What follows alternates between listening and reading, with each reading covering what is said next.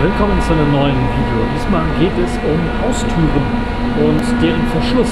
Denn anders als man das vielleicht in Deutschland hat, da hat man vielleicht einen Universalschlüssel, das heißt einen Schlüssel für sein, ich halte es mal so, da kann es keiner kopieren, äh, einen Schlüssel für seine Wohnungstür und die, der Schlüssel kann auch unten die Haustür aufschließen. Hier in Neuseeland ist das ein bisschen anders. Dort haben wir solche Tags, Chips, NFC-Chips. Und dann gibt es solche Swipe-to-Tag-Dinger. Da muss man also den Chip, den NFC-Chip dran halten und dann wird einem die Tür aufgemacht und das ist meistens bei der Haustür der Fall. Und bei Wohnungstüren benutzt man dann den normalen Schlüssel. Aber bei ja, Haustüren, um die Wohnung überhaupt erreichen zu können, um in das Treppenhaus zu gelangen oder hier auch mit großem Anteil, gerade bei Wohnungen gibt es Rezeptionen, wo also eine Firma sich darum kümmert. Dort können dann auch Päckchen und so weiter abgegeben werden. Eine wirklich tolle Geschichte.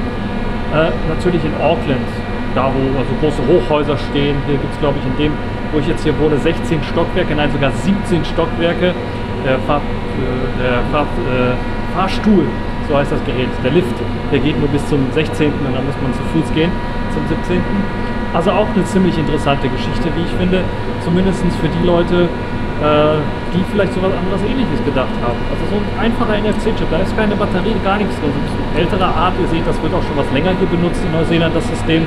Und das funktioniert nicht nur für hier normale Eingangstüren, sondern eben auch für Kellerräume zum Aufmachen, die von der Allgemeinheit irgendwie aufgemacht werden sollen oder besondere andere Räume, die irgendwie in Universitäten und so aufgeschlossen werden müssen. Die werden mit so einem Tag aufgeschlossen. Ich glaube, auch eine ziemlich interessante Geschichte.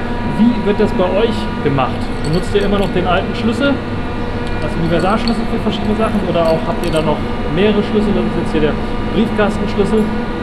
Oder Habt ihr auch sowas Modernes wie ein NFC-Tag oder ein Zahlenkonto oder eine Karte oder irgendwas anderes, wie man zum Hotel kennt?